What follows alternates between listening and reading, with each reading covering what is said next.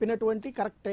అవన్నిటి మీద పోరాడండి తప్పు లేదు. దాని విషయంలో నేను అభ్యంతరం పెట్టట్లేదు.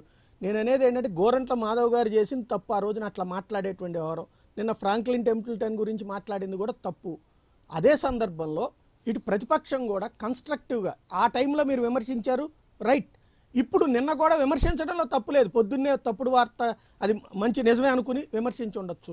ఇష్యూ క్లోజ్ అయిపోయింది అక్కడ. కియా చెప్పేశాక వాళ్ళు వెళ్ళట్లేదని అక్కడతో అయిపోవాల్సింది ఇంకా సాగదీస్తూ లేదు ఏ కంపెనీ రావట్లేదు వాళ్ళు వెళ్ళిపోతున్నారు వీళ్ళు వెళ్ళిపోతున్నారు. అదాని వాళ్ళు అక్కడ తీసేస్తే ఇక్కడ పెడతామన్నారు కృష్ణపట్నం పోర్టులో పెడతామన్నారు. వైజాగ్లో కాదు అక్కడెక్కడ పెట్టాలి ఇక్కడ పెడతామన్నారు వాళ్ళు. ఇది కృష్ణపట్నం పోర్టు దగ్గర పక్కన ల్యాండ్ అంతా వాళ్ళకి ఇచ్చేశారు. ఇంకా నెక్స్ట్ ఇంకేం నడుస్తాయి అనేటువంటి తెలుసు. ఈ లోపు జరిగే జరుగుతూ ఉంటాయి. కానీ మన రాష్ట్ర ప్రయోజనాల రీత్యా పాజిటివ్ ప్రచారం నెగిటివ్ చేయలేకపోయినా పర్లేదు. అదే సరే. మనం పాజిటివ్ చేయకపోయినా పర్లా. నెగిటివ్ చేయకుండా ఉండాలి కదా. ఇక్కడ నెగిటివ్ అయిపోవడం వలన మంచిదేనా? ఇది అధికార పక్షం బాధ్యత రాహిత్యంగా ఉంటే ఆ పాయింట్ని స్ట్రెచ్ చేయాల్సింది పోయి ఇంకొంచెం వైడన్ చేసుకోవడం అనేటువంటిది రాష్ట్ర ప్రయోజనాలకు మంచిదేనా? రాష్ట్ర ప్రయోజనాల గురించి ఆలోచించవలసింది మొట్టమొదటి ఎవరండి?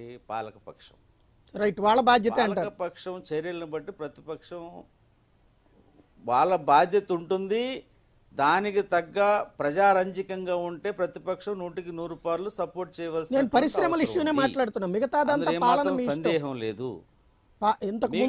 నేను అదే చెప్తున్నాను సార్. సాయి గారు మీరు అడిగిన దానికే చెప్తున్నాను నేను. మీ మీరు అడిగిందని చెప్తున్నా. ఎందుకు ఈ ఈ గొడవలు ఈ డిస్టర్బెన్స్ వల్ల ఇతర రాష్ట్రాల్లో వచ్చే పరిశ్రమల వల్ల కానీ లేకపోతే పెట్టుబడులు కానీ ఆగేటువంటి ప్రమాదం ఉంది కదా అని మీరు ఒక. ఒక మాట మాట్లాడారు.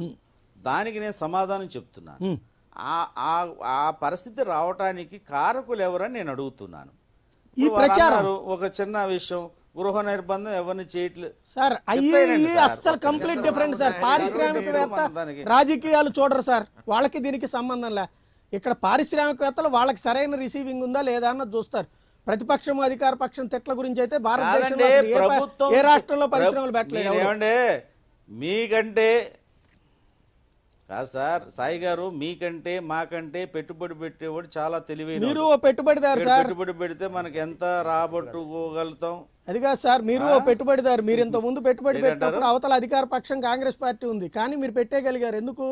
పారిశ్రామికవేత్త అవి చూసుకోరు రాజకీయాలు. కాంగ్రెస్ ఆ రోజున తెలుగుదేశాన్ని అభినందించిందా? తిట్టుకుంటూనే ఉండేవాళ్ళు కదా అప్పుడు కూడా.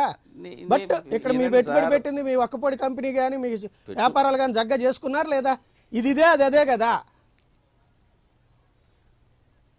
నేను నేను గారు నేను చెప్పేది వింటారు? ఒక్క నిమిషం. చెప్పండి.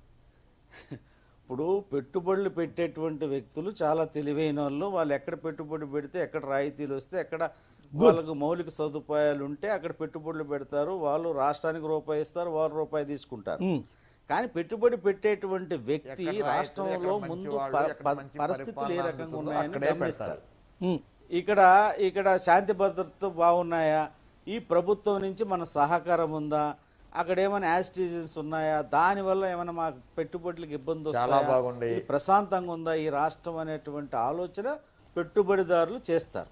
రైట్ కాబట్టి ఇప్పుడు జరుగుతున్నటువంటి ఏడు నెలల్లో ఆయనకు అధికారం ఇచ్చినటువంటి నేపథ్యంలో కక్ష సాధింపు చర్యగా ఏదైతే గత ప్రభుత్వం చేసినటువంటి అగ్రిమెంట్లు కానివ్వండి లేకపోతే గత ప్రభుత్వం చేసిన అనేక విషయాల్లో వాళ్ళు దానికి రివర్స్ వెళ్తున్నటువంటి Right. నేపథ్యంలో ఆ point ఏం మీద ఆగుతారంటారు ఆలోచిస్తారంటే, మీరు. Correct. ఈరోజు. జగన్మోహన్ రెడ్డి గారితో ఒక ఏనండి ఏనండి సార్ ఏనండి జగన్మోహన్ రెడ్డి గారితో ఒక ఒప్పందం రేపు చంద్రబాబు నాయుడు గారు వస్తారు రేపు ఇంకొకళ్ళు వస్తారు రేపు ఈ రకమైనటువంటి పరిస్థితి ఉంటుందేమో కాబట్టి మేము ఏ రకంగా పెట్టుబడులు పెట్టాలి ఇప్పుడు చంద్రబాబు నాయుడు గారు రైతులను ముప్పై మూడు వేలు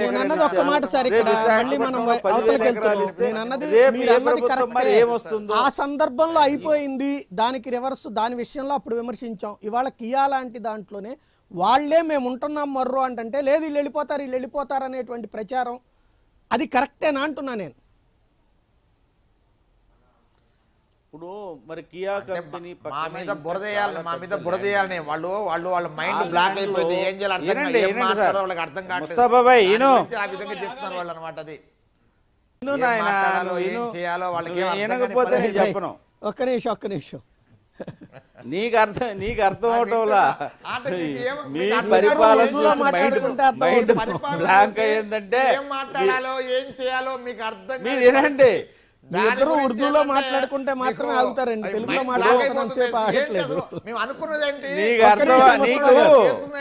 ఏంటి మంచి పరిపాలన. చెప్పేసి మీకేమో ఏం అర్థం కావట్లేదు కియా కంపెనీ మీరు కి- సూటి సాయి గారు మీరు సూటిగా కియా కంపెనీ? గురించి అవును అడిగారు ఒక్క కదా. నిమిషం ముస్తఫా గారు మీరా గారు మీరు చెప్పండి సూటిగా కియా కంపెనీ గురించి వినండి ఏ- మీరు కియా కంపెనీ గురించి సూటిగా అడిగారు ఓకే వాళ్ళ కియా కంపెనీ అంత ఎస్టాబ్లిష్ అయిన తర్వాత ఆ ఎస్టాబ్లిష్మెంట్ మార్చడం అనేది చాలా కష్టమైనటువంటి విషయమే.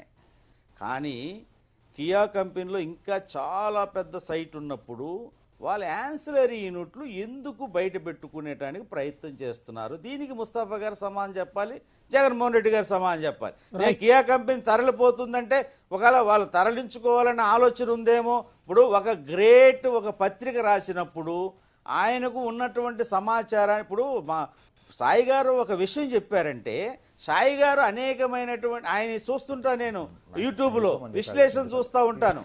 కాబట్టి ఆయన అనేక సమస్యల మీద విశ్లేషణ చేస్తూ ఉంటారు.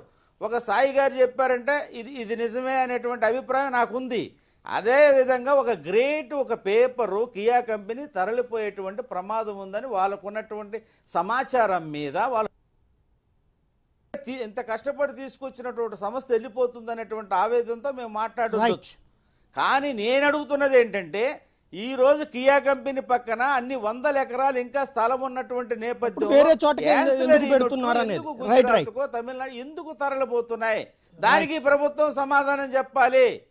అది. చెప్పండి కియా కంపెనీకి పక్కన పెట్టండి దాని యాన్సిలరీ యూనిట్లు వాళ్ళ ఎంఐ యాన్సిలరీ యూనిట్లు అనేక కంపెనీలకి యాన్సిలరీ యూనిట్లు ఆ పక్కనే చేస్తారు. ఆ పక్కన చేసే స్థలం ఉంది. సదుపాయాలు ఉన్నాయి. ఎందుకు వెళ్ళిపోతున్నారు వాళ్ళు? దానికి సమాధానం చెప్పండి